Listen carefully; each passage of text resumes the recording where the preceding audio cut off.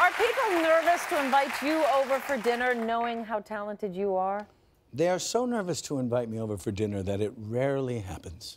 Really? I don't know what it is because I certainly don't look snide or, or, eh, or difficult. I must say, though, my favorite thing to eat is anything anyone else makes.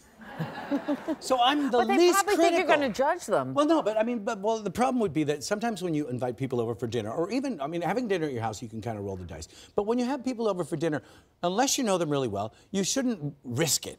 You should play your classic, like your best one, so that you're comfortable and confident when they're there, so you can enjoy the time with them.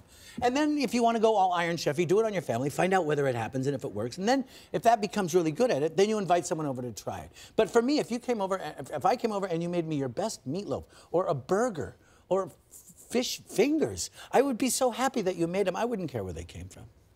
I can do a good fish finger. You see? I can do a good fish finger. I mean, it's Well, I'm not busy next Thursday. You-